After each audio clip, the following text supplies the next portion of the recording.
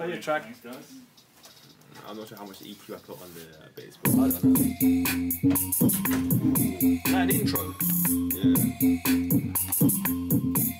Repeat that again. So you've got eight bars.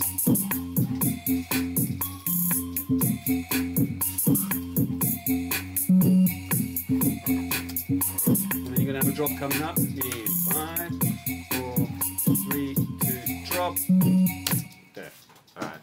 There. Alright. Okay? Yeah. Yeah, headphones in. Yeah, That's but nice. yeah, What? but the EQ le- le- levels aren't. Alright, don't worry about the EQ yet. Let's just, just get the stuff in.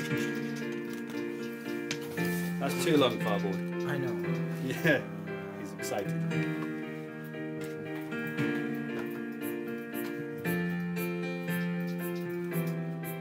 You need a melody on top.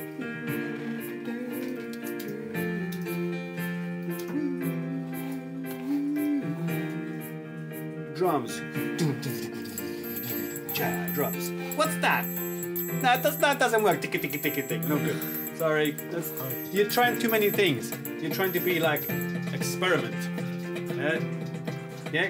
Have two, three, four really good things, and then repeat them, and then shorten them, and then make them longer and shorten it. Drums in, drums out. Uh, piano in, piano out. Yeah, and work in every four section, four bars. Something new. At the moment, everything's too new.